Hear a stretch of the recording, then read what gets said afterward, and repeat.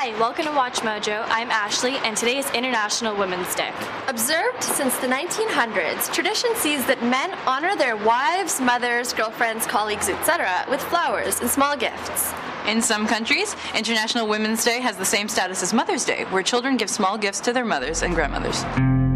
The new millennium has witnessed a significant change and shift in attitude in both women's and society's thoughts about women's equality and liberation. Many from the younger generation feel that all the battles have been won for women, while many feminists from the 1970s know only too well the endurance and ingrained complexity of patriarchy. With more women in the boardroom, greater equality in legislative rights, and an increased critical mass of women's visibility as impressive role models in every aspect of life, one could think that women have gained true equality. The unfortunate fact is that women are still not paid equally to that of their male counterparts. Women still are not present in equal numbers in business or politics.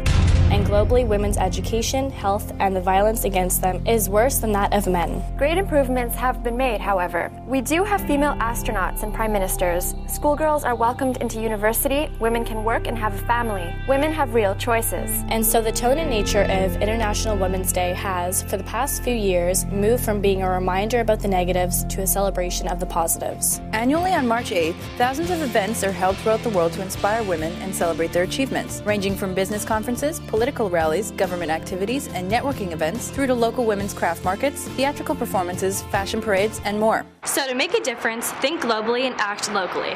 Make every day International Women's Day. And do your bit to ensure that the future for women is bright, equal, safe, and rewarding.